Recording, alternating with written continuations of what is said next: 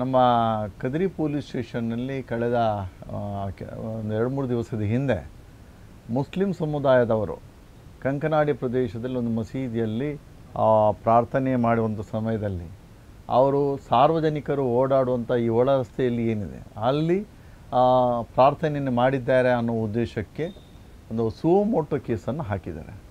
First of all ಈ suo motu ಕೇಸನ್ನು ಯಾವ ಸಂದರ್ಭದಲ್ಲಿ ಹಾಕ್ಬೋದು ಒಂದು?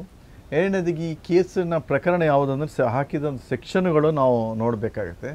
ಸೆಕ್ಷನ್ಗಳು three forty one one forty three ಮತ್ತು ಒನ್ ಫೋರ್ಟಿ ನೈನ್ ಈ ಅಪರಾಧ ಪ್ರಕರಣದಲ್ಲಿ ಹಾಕಿದ್ದಾರೆ. ಈ ಮೂರು ಪ್ರಕರಣಗಳು ಕೂಡ ಯಾವುದಂದರೆ ಬೇಲೇಬಲ್ ಒಫೆನ್ಸ್ ಅಂತ ಹೇಳ್ತಾರೆ ನಮ್ಮ ಕಾನೂನು ಭಾಷೆಯಲ್ಲಿ. ಮತ್ತು ನಾನ್ ಕಾಗ್ನಿಸೇಬಲ್ ಅನ್ನು ಹಸಜ್ಞೇಯ ಅಂತ ಹೇಳ್ತವೆ. ಆದರೆ ಇಂಥ ಪ್ರಕರಣಗಳಲ್ಲಿ ಯಾವುದೇ ಪೊಲೀಸರು ಎಫ್ ಐ ಆರ್ ಹಾಕುವಂತಿಲ್ಲ. ಆ ಎಫ್ ಐ ಆರ್ ಅವನು ಏನು ಮಾಡುವುದಿದ್ರೂ ಕೂಡ ಅದನ್ನು ಮ್ಯಾಜಿಸ್ಟ್ರೇಟಿಗೆ ಕಳಿಸಿ ಅವರ ಪರ್ಮಿಷನ್ ಮೇಲೆ ಇಂಥ ಪ್ರಕರಣಗಳಲ್ಲಿ ಎಫ್ ಐ ಆರ್ನ ಆಗಬೇಕಿತ್ತು. ಇಲ್ಲಿ ಸುವಮೋಟ ಪ್ರಶ್ನೆ ಇಲ್ಲ. ಇಲ್ಲಿ ಸುವಮೋಟ ಪ್ರಕರಣ ಅಂದರೆ ಯಾವುದೇ ವಾರಂಟ್ ಕೇಸ್ ಇದ್ದರೆ ಅಂಥ ಸಂದರ್ಭದಲ್ಲಿ ಸುವಮೋಟೋ ಅಂತ ಹೇಳ್ತೇವೆ. ಸುವಮೋಟೋ ಇಲ್ಲಿ ಬರೋದಿಲ್ಲ ಇಲ್ಲಿ ಮಾಡಬೇಕಾದದ್ದು ಏನಂದರೆ ಒಂದು ವರದಿಯನ್ನು ತಯಾರಿಸಬೇಕು. ಆ ವರದಿಯನ್ನು ಮ್ಯಾಜಿಸ್ಟ್ರೇಟಿಗೆ ಕಳಿಸಬೇಕು. ಮ್ಯಾಜಿಸ್ಟ್ರೇಟ್ ಕಳಿಸಿ, ಮ್ಯಾಜಿಸ್ಟ್ರೇಟ್ ಅದಕ್ಕೆ ಅನುಮತಿಯನ್ನು ಕೊಟ್ಟ ಮೇಲೆ ಎಫ್ ಐ ಆರ್ ಮಾಡುವಂಥದ್ದು.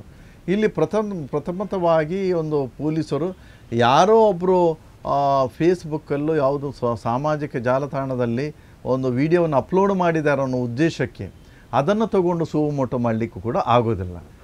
ಇನ್ನೊಂದು ಹಾಕಿರುವಂಥ ಸೆಕ್ಷನ್ಗಳು ಯಾವುದಂದರೆ ಭಾಳ ಒಂದು ತೀವ್ರತರವಾದಂಥ ಸೆಕ್ಷನ್ಗಳು. ಜನರು ಅದನ್ನು ಅರ್ಥ ಮಾಡ್ಕೊಳ್ಬೇಕಾಗತ್ತೆ.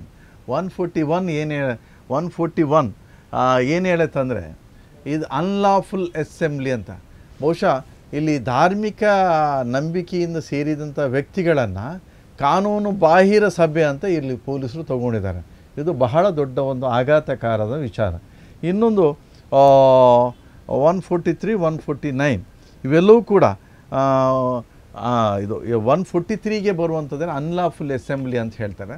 ಅದಕ್ಕೆ ಡೆಫಿನಿಷನ್ ಏನು ಹೇಳುತ್ತಂದರೆ ಐದು ಮತ್ತು ಅದಕ್ಕಿಂತ ಜಾಸ್ತಿ ಜನ ಸೇರಿದರೆ ಅದು ಅನ್ಲಾಫುಲ್ ಅಸೆಂಬ್ಲಿ ಕಾನೂನು ಬಾಹಿರವಾದಂಥ ಯಾವುದು ಕೃತ್ಯವನ್ನು ನಡೆಸಲಿಕ್ಕೆ ಸೇರಿದ್ದಾರೆ, ಯಾವುದು ಕೃತ್ಯವನ್ನು ಇದು ಮಾಡಲಿಕ್ಕೆ ನಾನು ಸೇರಿದ್ದಾರೆ, ಅದು ಅದು ಕೂಡ ಐದು ಮತ್ತು ಅದಕ್ಕಿಂತ ಜಾಸ್ತಿ ನಾನು ಸೇರಿದರೆ ಅದು ಅನ್ಲಾಫುಲ್ ಅದಕ್ಕೆ ಒನ್ ಫೋರ್ಟಿ ತ್ರೀ ಮತ್ತು ಒನ್ ಫೋರ್ಟಿ ನೈನ್ ಒಂದು ಕಲಂಗಳು ಬರ್ತವೆ ಮತ್ತೊಂದು ಏನಂದರೆ ಬರೋದು ಬರೋದು ತ್ರೀ ಫೋರ್ಟಿ ಒನ್ ಅಬ್ ಅಬ್ಸ್ಟ್ರಕ್ಷನ್ ಮಾಡಿದಾರಂತ ಇವೆಲ್ಲವೂ ಕೂಡ ಯಾವುದೇ ಈ ಇದು ಕೂಡ ಇದು ಜಸ್ಟ್ ಫೈನ್ ಕಟ್ಟಿ ಬಿಡುವಂಥದ್ದು ಒಂದು.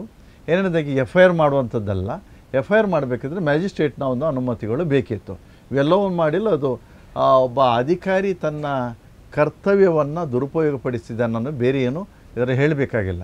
ಅಥವಾ ಯಾವುದೇ ರಾಜಕೀಯ ಕುತಂತ್ರ, ಒತ್ತಡಗಳು ಇದ್ದು ಮಾಡಿದಾರೋ ಅನ್ನೋದು. ನಮ್ಮಲ್ಲಿ ಈ ಒಂದು ಪ್ರಕರಣದ ಭವಿಷ್ಯತ್ತಿನಲ್ಲಿ ಇದನ್ನೇ, ಇದನ್ನು ಮಾದರಿಯಾಗಿ ತಗೊಂಡ್ರೆ ಯಾವ ರೀತಿ ನಡೀಬೋದು ಅನ್ನೋದು.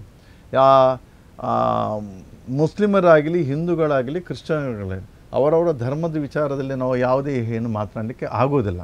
ಅದು ಹಿಂದಿನಿಂದ ನಡೆದು ಬಂದ ಒಂದು ಪದ್ಧತಿ ಏನಿರುತ್ತೆ, ಅದನ್ನು ನಾವು ಹೇಳಲಿಕ್ಕೆ ಆಗುವುದಿಲ್ಲ ಆದರೆ ಸಮಾಜದಲ್ಲಿ ಹಿಂದೆ ಒಂದು ಆಜಾನ್ ವಿಚಾರದಲ್ಲಿ ಇಂಥ ಒಂದು ವಿಚಾರ ಭಾಳ, ಅದು ಕೂಡ ಕರಾವಳಿಯಲ್ಲಿ ಬಹಳ ಚರ್ಚೆಗೆ ಒಳಪಟ್ಟಿತ್ತು. ಆ ಸಂದರ್ಭದಲ್ಲಿ ಮುಸ್ಲಿಮರು ಸ್ವಯಂ ಪ್ರೇರಿತವಾಗಿ ಹೇಳಿದರು, ಆಯಿತು ನಾವು ಆಜಾನನ್ನು ಮಾಡಲ್ಲ.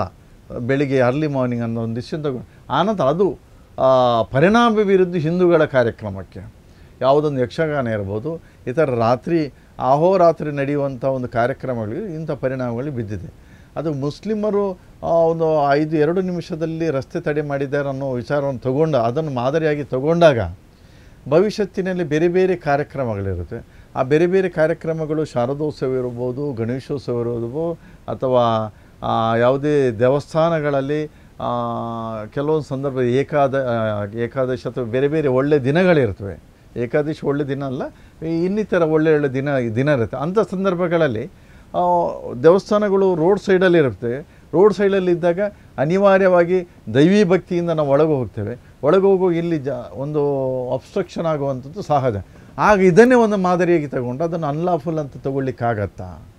ಧಾರ್ಮಿಕ ಹಿನ್ನೆಲೆಯಲ್ಲಿ ಧಾರ್ಮಿಕ ಒಂದು ಪ್ರೇರಣೆಯಲ್ಲಿ ಹೋದದನ್ನು ಯಾವ ರೀತಿ ಅನ್ಲಾಫುಲ್ ಕಾನೂನು ಬಾಹಿರ ಒಂದು ಸಭೆ ಅಂತ ತಗೊಳ್ಳಿಕ್ಕಾಗತ್ತೆ ಅನ್ನೋದು ಇದನ್ನು ಪೊಲೀಸರು ನಮಗೆ ಹೇಳಬೇಕಾಗತ್ತೆ, ನಮ್ಮ ಸರ್ಕಾರ ನಮಗೆ ಹೇಳಬೇಕಾಗತ್ತೆ, ಅದು ಆ ಒಂದು ಅಧಿಕಾರಿ ಯಾರಿದ್ದಾರೆ ಅದನ್ನು ಹೇಳಬೇಕಾಗತ್ತೆ.